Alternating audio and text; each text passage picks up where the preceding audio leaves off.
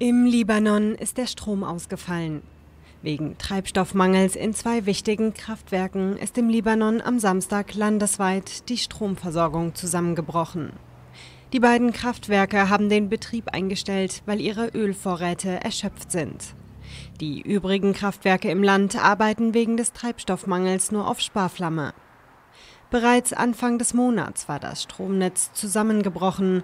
Damals dauerte es mehrere Tage, bis es wiederhergestellt war. Der Libanon wird derzeit von einer der schwersten Wirtschaftskrisen weltweit seit 1850 heimgesucht. Das Land kämpft unter anderem mit Benzin- und Medikamentenengpässen. Die internationale Gemeinschaft hat hunderte Millionen Euro Unterstützung zugesagt. Diese sind jedoch an die Bedingung geknüpft, dass der Libanon eine Regierung bekommt, die in der Lage ist, notwendige Reformen umzusetzen.